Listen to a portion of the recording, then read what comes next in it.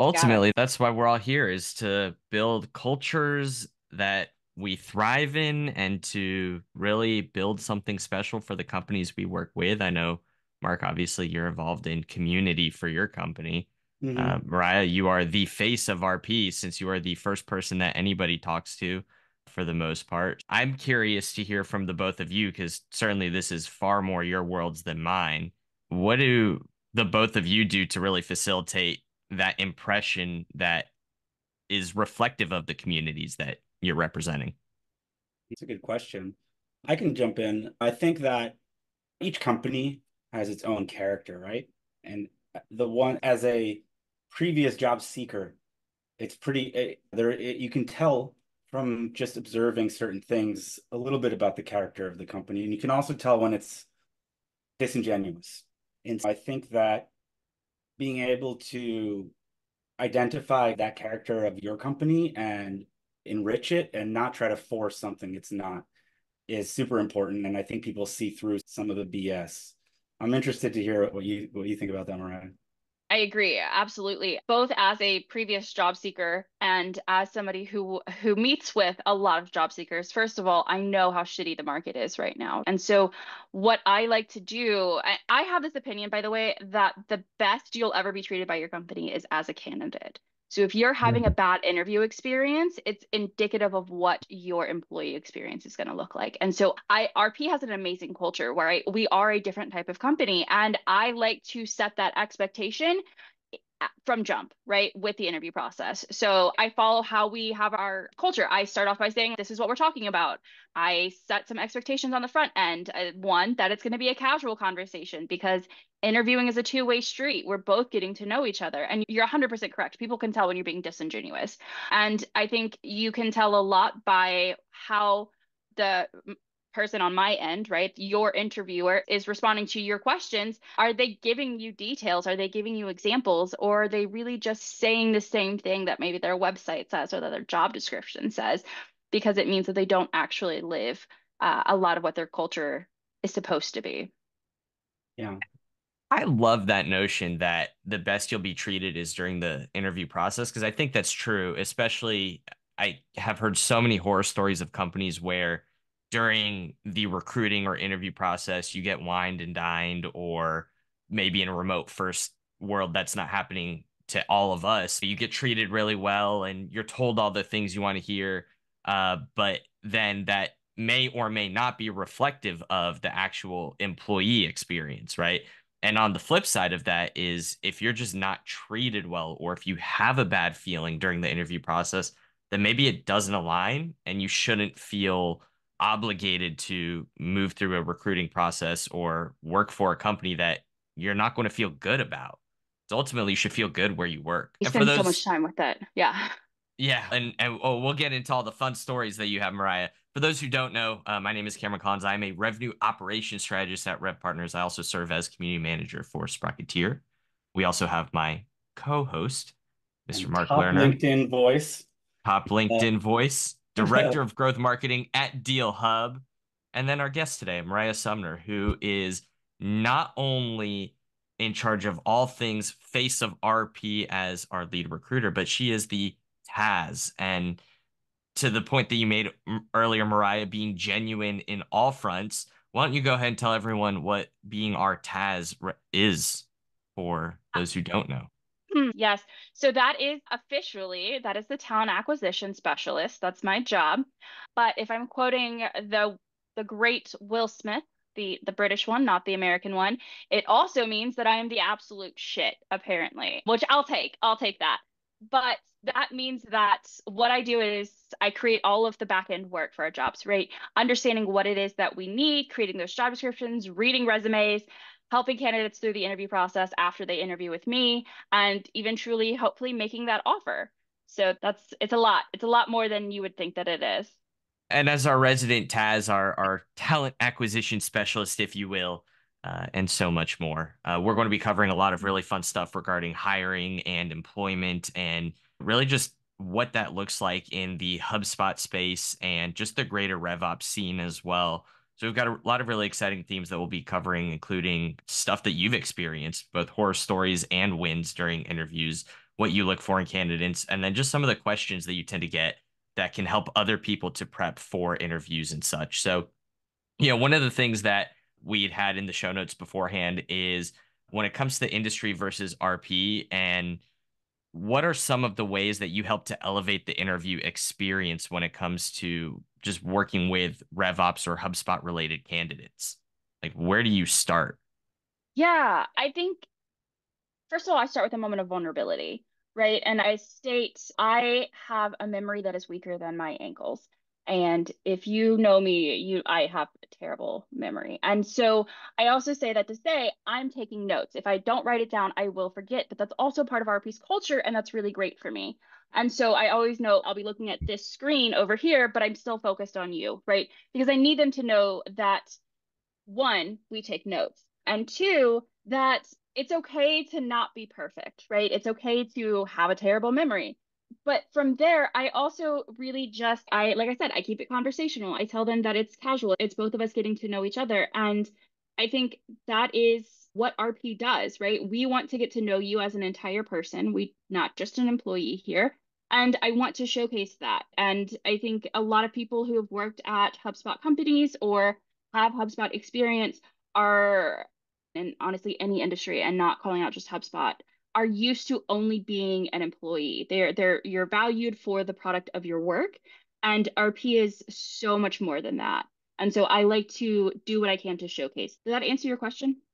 It totally does and and the moment of vulnerability I think is is a really cool thing for you to do because I've had some referrals come into RP but on the flip side of that anyone that's ever spoken with you and me having gone through the recruiting process, I could say it's always appreciated when you have a recruiter that really feels like a human or a talent acquisition specialist that feels like a human. And then even trickling up from there, going into management that aren't just asking you technical questions are important, but knowing that um, this has to be a good fit for both parties, right? That's really important and Mark, I know that you obviously talked to a lot of different people in a lot of different communities, and I'm curious to hear what are some of the things that, when it comes to just being human, you find are some of the common traits for like communities all around the board, whether that's HubSpot or otherwise.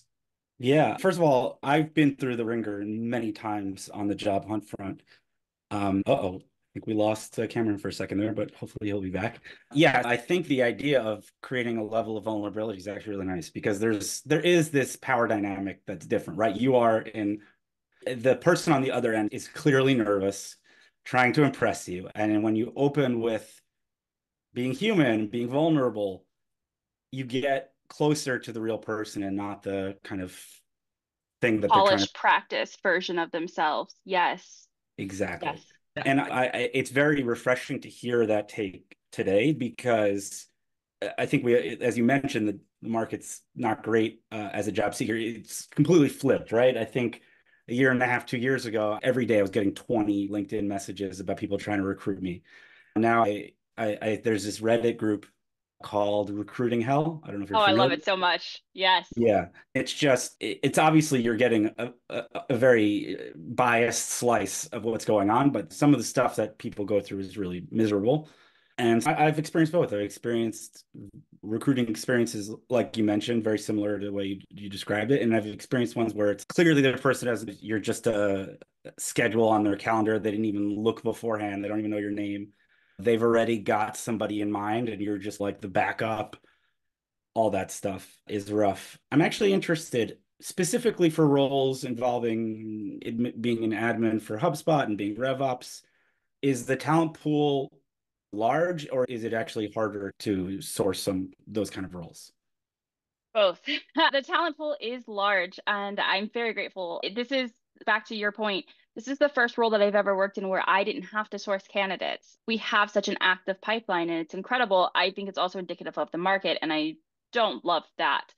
But what we're looking for in terms of somebody who's doing HubSpot admin work, who's a revenue operations strategist, is a little bit more challenging, right? Because there's, especially at RevPartners, because we do things a little bit differently. So there's things that I have to look for. So even though we have a robust pipeline, that doesn't mean that all of these candidates are going to be the right fit either for the role or for RP, and sometimes both. And so it's a challenge occasionally, but I'm also very fortunate that we seem to have a place that people want to work at and they tell their friends and they make a lot of referrals cameron being one of them who will just be like hey this is a great person this is their experience and it, it makes my job a lot easier yeah i think that interviewing from the from this from the job seeker side is just a can be a terrifying experience yeah. You're 100% correct, by the way. There's an inherent power dynamic that favors the employer, and people tend to forget that. And I also think that we get myopic. When you have stopped interviewing as a candidate, you get myopic about how it feels to be the candidate. And it's it's stressful. You never know what you're going to get going into it.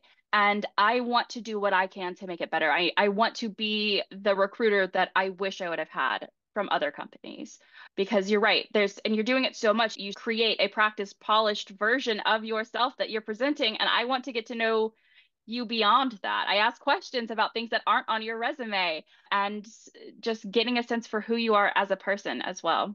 But I'm sorry, I interrupted you.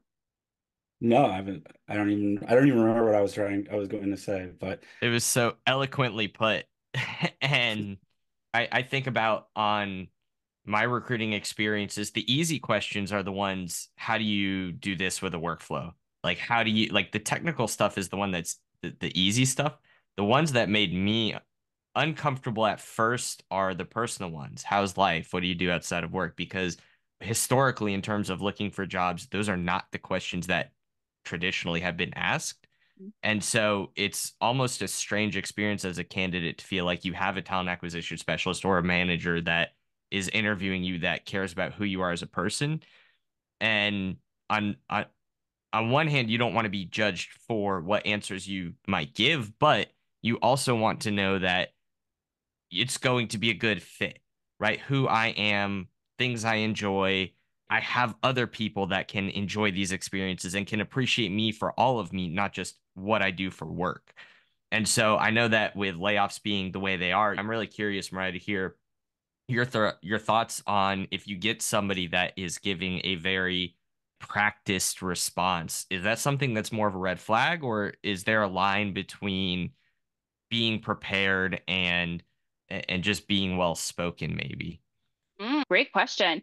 So i will say i was laid off twice in 2022 so i know how it feels. And anytime i have a candidate who has also experienced a layoff i share that with them. Um, because i need them to know that one i'm not judging them. And two i understand that feeling of betrayal and having the rug pulled out from underneath you that happened when you got that message but with that said, polished versus communicating. That was terrible communication there, right there. I think that generally what I find is that the conversation, the interview starts off with chit chat. How was your day? How was your week? Any weekend plans? And that I think is a, a little bit of a difference. It, it's it's warm and and just inviting into you getting to be yourself. But to, to your point of am I going to be judged for my responses on these things? I always relate it back to myself as well, not in a selfish way where I have to make a call all about me, but in a way that validates your experience, right? So that you know I'm not judging you for whatever it is that you are doing. But I think that builds it into where candidates take off their polished selves very often because they're starting to see that they can be themselves in their answers. And I think it's very clear when there is somebody who is still being that rehearsed person. I had one candidate who, no matter what I asked, how I phrased it, they would give me just like very generic answers to everything. And if I asked for more information or clarity, it was still like key buzzwords and no real substance that's the red flag for me. You being a strong communicator is obviously really important for any role at any company and especially at RP where we value clarity creators. So I that's fine. I, that's not a red flag for me at all. But if you can't give me substance, that's a red flag. What is the I've always had a struggle with this. There is a certain level of professionalism that you're a front that you're supposed to put on in in those instances but there's also you want to make sure the person knows that you're not just a number and that you're a, a whole person Where's the line? Obviously, there's some extremes that anyone knows not to do, but like how much of yourself do you show? How vulnerable do you get? And where and how much do you still stay in a certain kind of front to make sure they can see the professional self that is most likely going to be the one that you're going to be portraying often in a role? Nominal question. I think that is part of actually what I'm evaluating for is do you understand being casual but also being professional and how that doesn't mean listen, I curse like a sailor, okay, but I'm not going to drop an F bomb in the middle of an interview. Are you doing that? Now, I might say interviewing is shit or that was the hardest job of my whole life. That's one thing. But then are you over here just trash talking? Are you saying things where I had one candidate who spent the first, I'm not exaggerating, seven minutes of our 45 minute time block complaining about having to interview for jobs.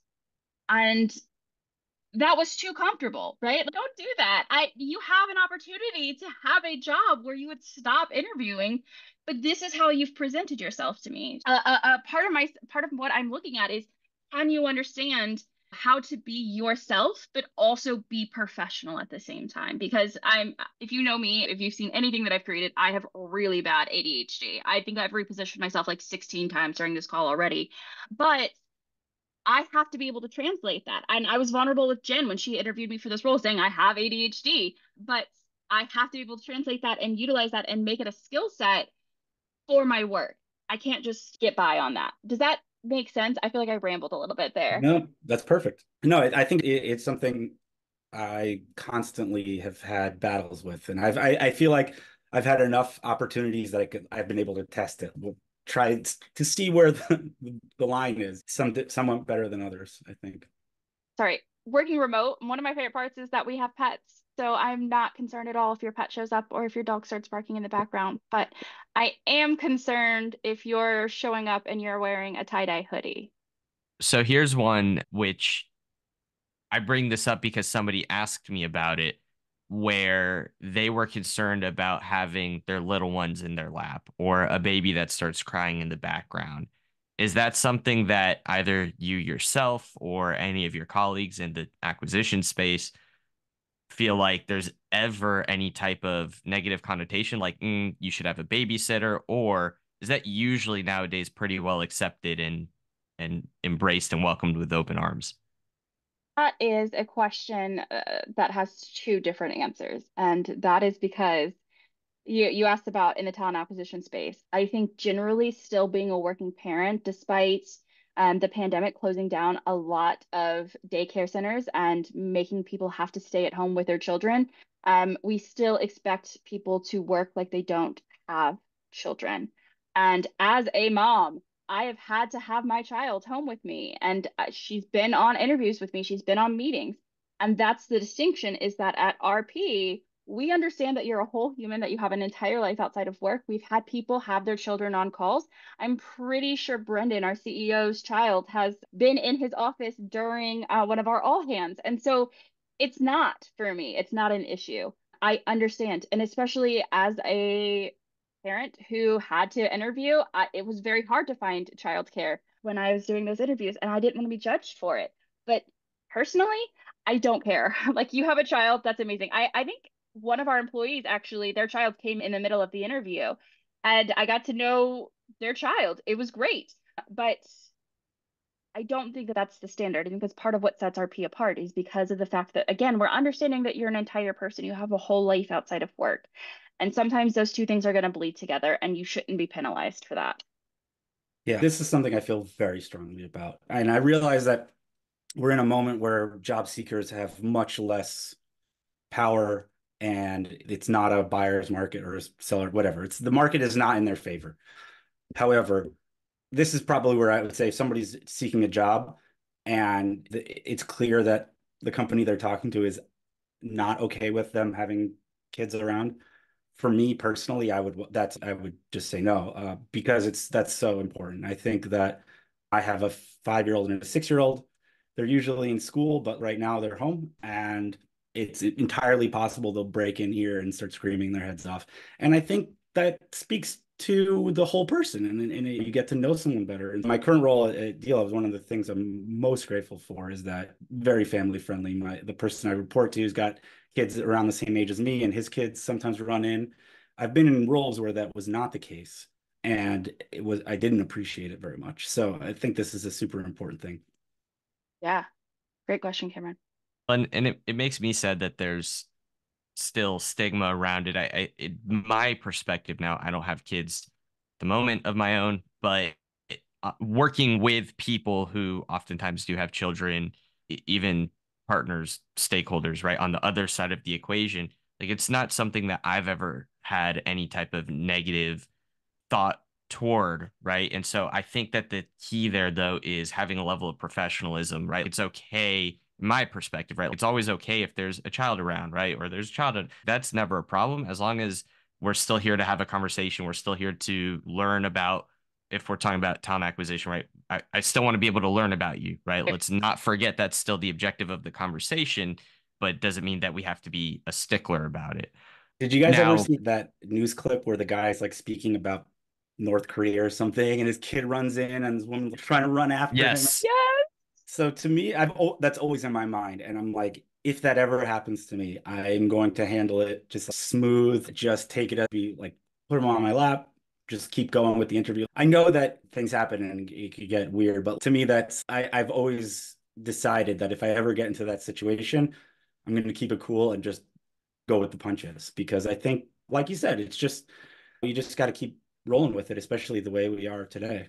And so I, I feel like that brings up an important point for us to really focus on then, because the most important part of hiring the right person is really two things. One is, does this person align with our company, right? Do we align with them culturally? But then the other component uh, that we haven't talked about quite as much in this episode today is skill set. And so I know that, Moriah, you talk to all different kinds of people, all different levels and roles what are some of the skill sets that you look for and how do you determine if somebody has the technical competency to get passed into those next rounds? What are you looking for? Great question. I am looking a lot harder at soft skills than i am at hard skills. I don't i hate to say this utilize hubspot at work. It's not part of my job. We have an applicant tracking system so i don't need to use hubspot to track my applicants. So i can't say whether or not you're going to be great at HubSpot, right? I don't know, I don't judge that. That's not my job to judge or to evaluate for. But what I do look for is one, can you have that casual conversation with me? Can you create that relationship? And is it just me prompting you, or do you respond back to me and we build this conversation? Because that's important. That's relationship building. And you're going to need that with your stakeholders. Two, are you sending a recap after an email? Are you con- confirming that you're you're meeting with me and you're you've received that confirmation? Are you just acknowledging comms, which is part of RRP's culture? Do you give feedback? It's really hard to give feedback, especially because again, the power dynamic favors the employer. But are you comfortable saying this wasn't the best part or this was a really good thing? Because that's those are the skills that we can't train you on. We can teach you HubSpot. What we can't teach you how to do is recap, over communicate, be a clarity creator, admit that you make mistakes because we all make mistakes, right? Those so that's a lot of what I'm evaluating for. I also ask questions around their their work, what they've shared with me in their story in terms of how are you driving adoption and how are you getting uh, your project so that even when you have multiple deadlines back to back with various stakeholders how are you making sure that things don't fall through the cracks? Because i need to know are you able to prioritize? Are you able to communicate to your stakeholders that this is a lower priority and that means that things might be delayed? Or do you make sure that your time is appropriately blocked and allocated to the work that you have to do? That's what i'm looking for with some of this. And it's less do you know hubspot technically? And do you know how to manage your time well? Do you know how to communicate? Because those are things that we cannot train you on. I think that is so important that people understand there is so much more to excelling in a role than your technical ability. And i think that applies i will stand by that both from a like revenue operations, project management, implementation specialist, HubSpot admin perspective. I will also say that from a technical perspective of somebody who might be more into engineering, coding, development. And we work with technologists, engineers, developers, if you will. I have worked with them in the past.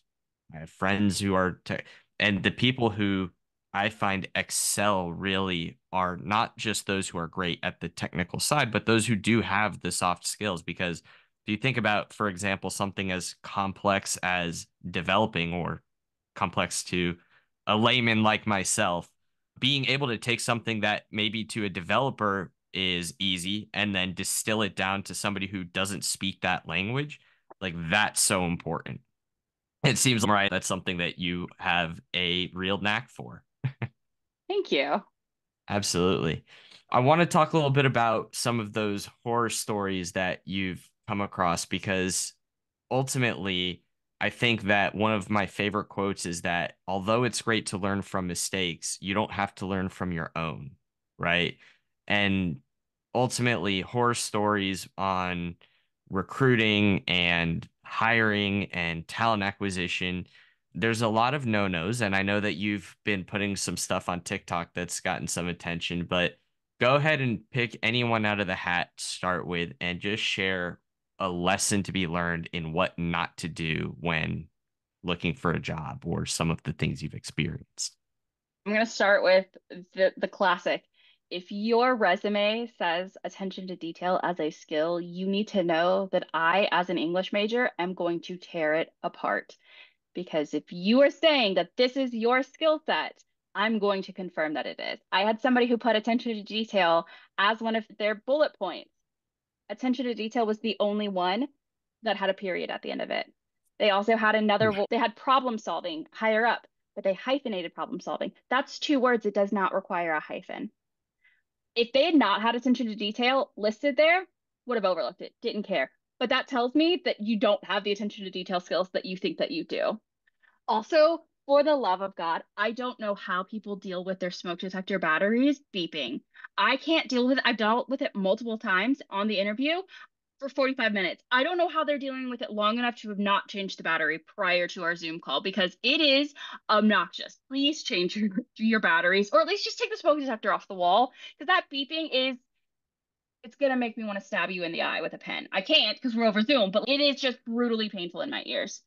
Could you imagine going into an interview in an office and the office just has smoke detectors that are beeping? That would like blow exactly, my mind though. if you like walk into your employer and it's just why is this smoke detector going off for an hour?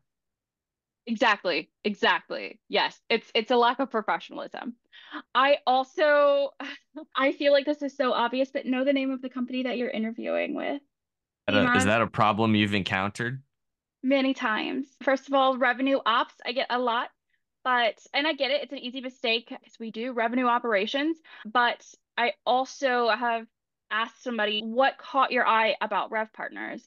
And he was like, What's Rev Partners? And I was like, It is our company even That's the cool. context clues. So yeah, I just know the name of the company you're interviewing with. On the on the flip side, I like I understand. I've been in the situation where you're applying to a thousand so many jobs. Yes. And you're like, when you get on the call, you're like, oh wait, which one is this? But you should quickly establish who you're talking to immediately. And and if you forget, try to play it off so that you can figure it out through the conversation and not say, hey, what's RevPartners? That would be a mistake. Yeah, I have myself, I, I think probably most any of us have been through periods where you just go and it's easy apply, easy apply, easy apply, easy apply.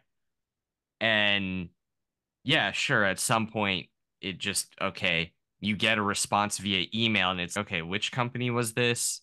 What do they do again? But that is early stage. If you're getting on the phone with somebody, somebody emails me back and says, Can you hop on the phone in 15 minutes? You better believe my next 15 minutes are Googling that company to figure out what I applied for. And so I think that if we look at what candidates can take away from that story, it's just taking a little bit of time and prepare for whichever role you're applying for. the other side of that equation is just being totally unprepared. And Ryan, I know you've had experiences with people being late. Do you have any specific stories to share or examples of what not to do if you're running behind on a meeting? Spoiler saying Zoom won't load doesn't work. Listen, the email invite that I send out this, we're going to chat over Zoom. You will get a Zoom invite with your Calendly confirmation. You will also get an email reminder a day before that mentions Zoom. So your Zoom should be updated. Even if most of your other interviews are Google Meets or Teams, you should still be prepared to chat on Zoom. So have that update. If you're in another meeting and it's running over, you have my email address. You you should be emailing me and telling me, "Hey, I'm so sorry I'm going to be late." I had one candidate, I sat on the call. I will wait 5 to 7 minutes depending on what how like how many other things I have in my day to get done when a candidate isn't there on time to see if they're going to show up and and to hear what happened. I had him he emailed me back and said, "Hey, are we still going to meet today?" And it was and I was like, "Hey, yeah, our call was supposed to start at 215. So no, we're not. This was the wrong time to ask me that question. And you had ample reminders. Maybe just be cognizant of when your appointment is too, because you're I don't book these actually. I send a Calendly link and they are able to set time on my schedule that works for them. Bear that in mind. know your schedule, right? Um, but I've been late. I've had meetings run over. And if it's going to run over more than a minute, I'm sending them an email telling them, I'm so sorry. I will be a few minutes late. And then I always apologize when I get in the call and I tell them why I was late because their time is important. And I don't want them to think that it, it wasn't. I will end any meeting, any call that I possibly can to be on time for an interview. So if I'm late, I they need to know what was important enough to keep me from being on time. Yeah. Do you have you found any things where it seems like the person applying is is using AI like aggressively where it's like the email is very clearly AI or and something like that? I have not. Oh, that's interesting. Have you? I, I as I mentioned earlier, I'm a casual observer of the Reddit yes. dumpster fires that happen there. So a lot of times people will respond to an application in the application in the job description at the bottom it'll say if you are a large language model reply I'm a, I'm a bot or something. And so when if somebody's using AI to apply, the AI sees that and will put it at the top because it's basically saying that it's responding to the question. And, and then people will post screenshots of that and got them. So it's definitely happening. That's fun. I'm definitely going to look into that. Yeah. And so we can explore more dumpster fire stories, but I think that it's important to observe also some things that people can do to help their case or some proactive things they could do to land the job. Like one thing that I've always done when I go and I start looking for a role is and actually I'd be curious to hear your take on this because this is just my opinion, but connecting with people at the company on LinkedIn. I've seen some division around whether or not some people think that's stalkerish. I think we all know what LinkedIn is for. I don't think that there's any surprise in if I'm applying to a company and I send a connection request, as long as you're being professional, even in sending a follow up message, which I would recommend.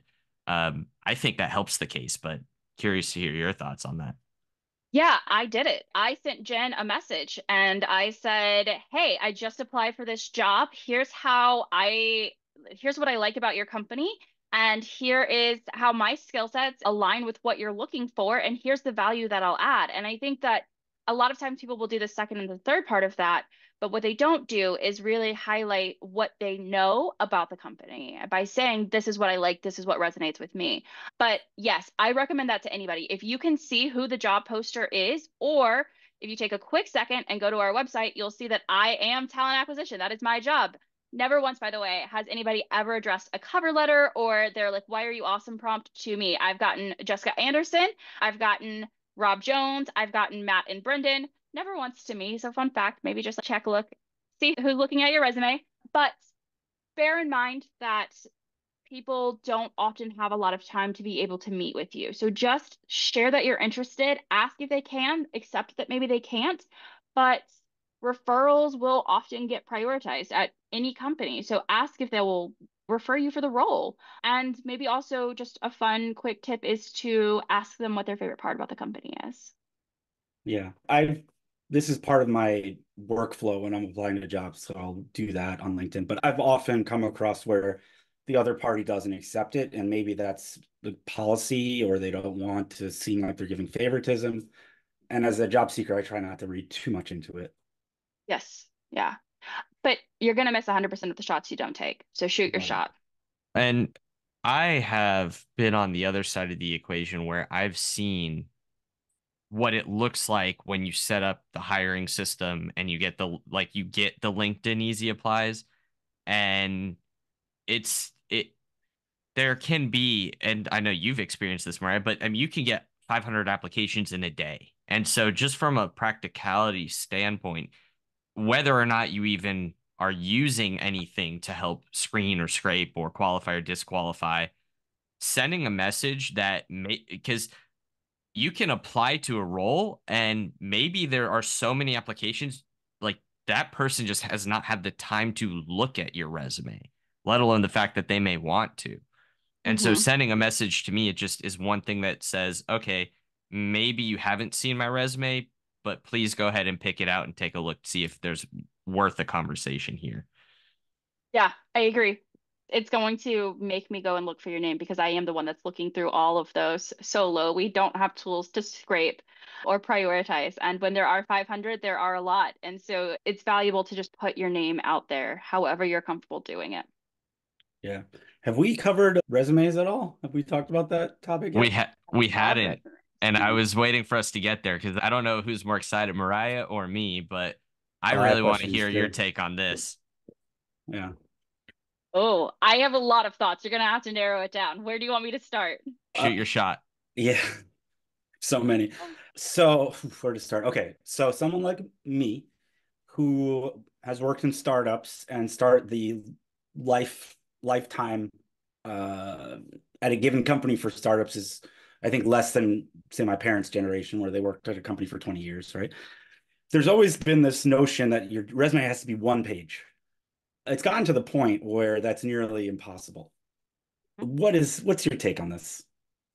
Depending on how what your job history looks like, I'd say a max of three pages. You need to be succinct in what you're succinct. I can't say that word.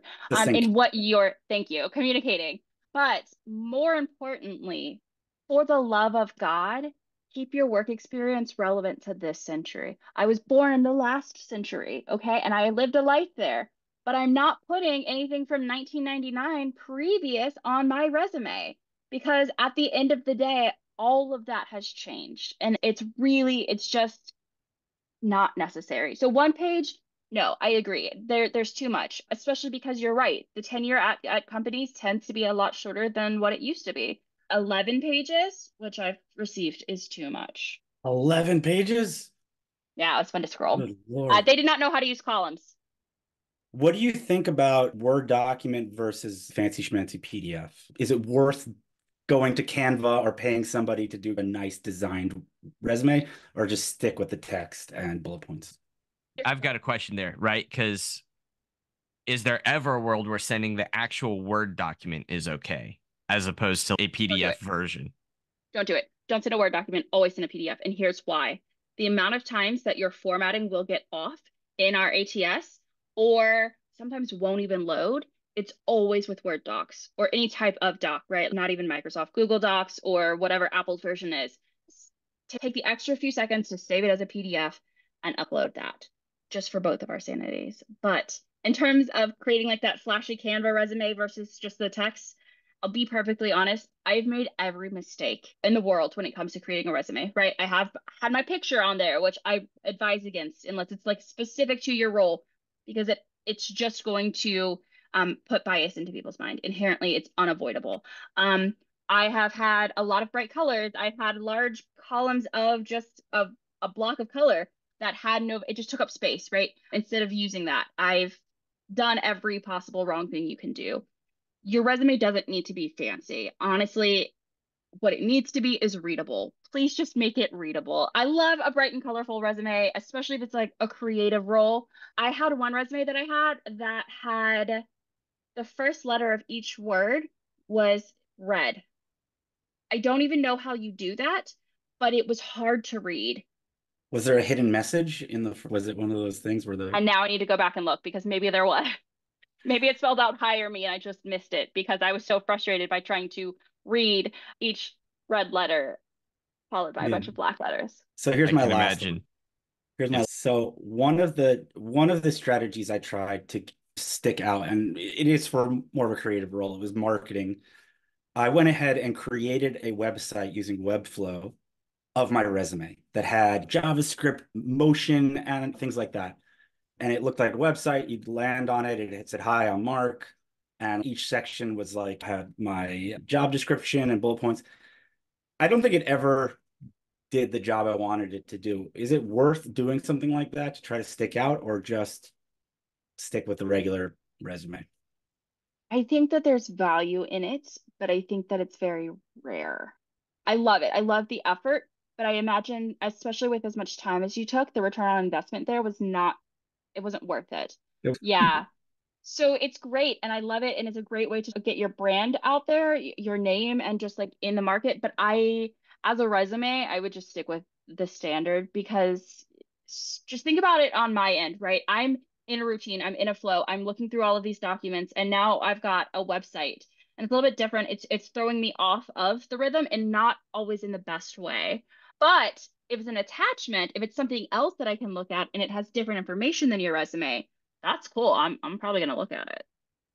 And I, I think also it, it depends on how bad do you want that role with that company, right? If I'm going through and I'm applying to a company because I need a job, I'm probably not doing that for 20 different companies. But on the flip side, when I applied for RevPartners, I created a HubSpot instance.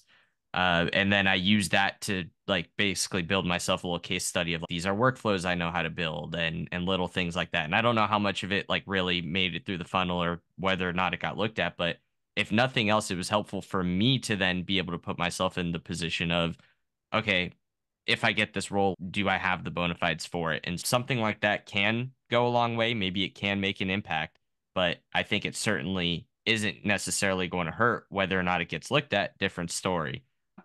I, I don't think you hurt yourself by trying to go above and beyond.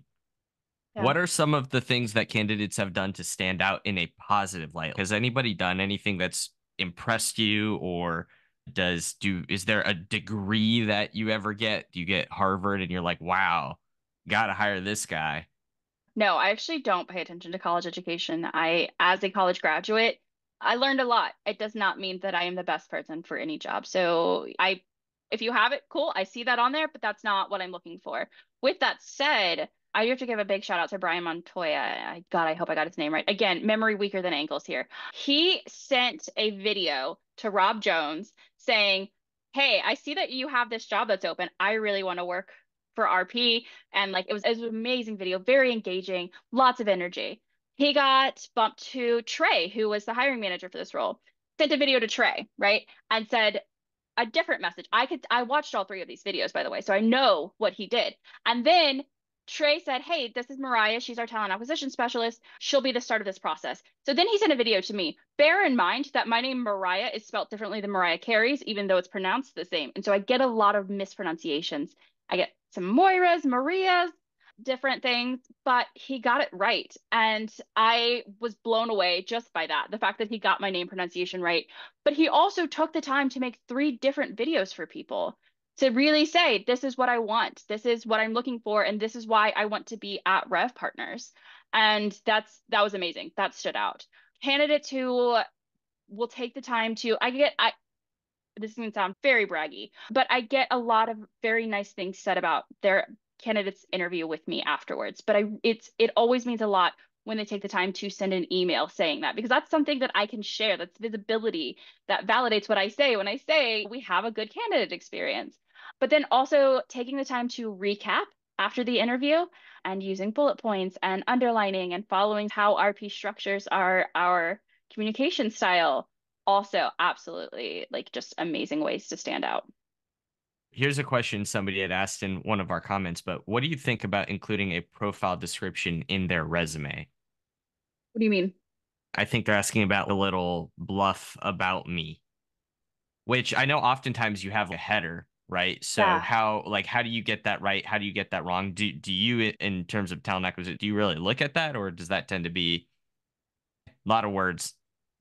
Yes, a lot of words. I think that it's valuable if you are making a career shift, if you're going from a different industry or a different type of job um, into a new one. It's that's when it's a little bit valuable. Otherwise, it's just taking up space. Um, and for the record, I have very strong feelings on the fact that I should not have to scroll down very far to find your most recent job experience. So please um, don't take up space don't give space on your resume to things that aren't as valuable and your work experience is valuable. So if you're a revenue operations experience professional who's worked with HubSpot and you're applying to RevPartners, you don't need to include that in a little about me or executive summary at the top of your resume. But if you are somebody who has worked in a completely different industry and you're coming in and you want to explain why you're transitioning out, feel free to add it in there. So job experience comes before education in your the way you you like resumes to look. Yes, I know that's not always the case, right? Harvard Business, was it Harvard Business? It was Harvard for sure, actually posted a template of resume, of, of what they think a resume should look like. And I agree with a lot of it. The difference is this is also for Harvard graduates. So having their education at the top is a nice little badge of honor for them. I think it should go at the bottom, personally. Yeah, that's been my go-to as well. And I also I have a degree, I have an MBA. I don't even look at that when I've looked at resume. I don't even look at education. I've, in my opinion, and this is a hot take, irrelevant. It's job experience and personality and capabilities are far more important than where you went to school or for how long. But that's just me. I've never once had to utilize Chaucer in my work, but boy, did I spend a semester learning it. Tell me how that's added value to my work. Exactly. So to that end, we've talked a little bit about some do's and don'ts when it comes to applying for roles and going through the interview process.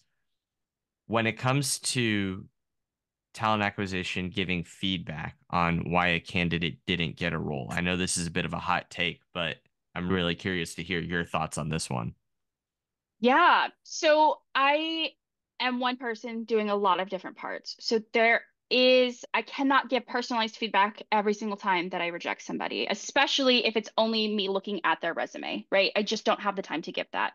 Generally, if you've only met with me, I'm probably just going to tell you I'm not advancing you. If you request feedback on how to improve, though, I'm more than happy to give it to you, but I cannot do it for each time that I don't advance a candidate. With that said, after a certain point, you've invested a lot of your time and energy into our company. So I'm going to take a moment and give you feedback. But I also don't like I don't like getting on a Zoom call, doing my hair, doing my makeup, making sure that everything is working right, only to be told I didn't get the job. So what I actually do is send an email to candidates telling them that, telling them why. yes. And then I also add in a Zoom link where if you want to chat about this, if you want to learn more, or just any questions that you have that went into this decision, you can meet with me then. And I've had people do it. But at the end of the day, I don't want to have to sit here and pretend like it's I'm not heartbroken or frustrated that I didn't get this job and I have to look poised and professional on camera. Just let me read it, let me process my emotions in my own space, and then maybe let me come to you for additional feedback. So that's my process on that. There's this notion out there that it's more professional to do it over a call than in an email. And as someone on the other end, don't do this don't schedule a call for tomorrow and have the person stay up all night. Am I going to get the job? Am I not getting the job? Am I going to have to, are they going to offer me too much, not enough money? Don't do that. Just say you got it or you didn't. No. I 100% agree. I actually, when I'm making an offer, I schedule an email, I, I have an email that says, uh, great job through your interview process. I add in some details and feedback that I've heard from the team. And then I say, in terms of next steps, we'd like to make an offer. And again, with a meeting link going into this meeting, that it's going to be an offer call. It's not something unexpected. You're not going to get other questions about things. I hated that. I hated not knowing if this last call was going to be an offer or a rejection. There's too yeah. much anxiety. The worst. Yeah. I don't know that I've had a role I've clearly been turned down for jobs at some point in my life, but I don't know that I've had a role that has had me get on a Zoom to turn me down. I feel like I've historically had a lot of email rejections, which those hurt, but I can imagine getting on a Zoom and being told, sorry, it's not going to work. Like that would suck. And I think that on the flip side to all of this, Moriah, you are the face of RP, being the first person that people like really truly engage with in the uh, hiring experience. But it's also not your decisions being made in a vacuum. I think most people probably should or do understand that there are other people, right? Like the the managers, the leadership, and this applies to every company, right? So anytime you're talking with a talent acquisition specialist and you get a rejection, like it's not always solely their decision, at least, right? I'm sure in the earlier stages, it's probably more your role to do those screenings. But what's just some thoughts or feedback for people that maybe do you get someone that gets mad at you, or do you get people that have been frustrate you? And at the end of the day, you're just delivering the message. I don't think so for the most part. I think that if they get frustrated with me, they don't share it. But I would say that one of the hardest parts is that you may be an awesome person. Like we may want to hire you, but we also have somebody who's just like slightly better and that's who we've made an offer to. And so I want to b- keep that relationship because there may be another role later on down the road that you're a good fit for and I want to bring you back on.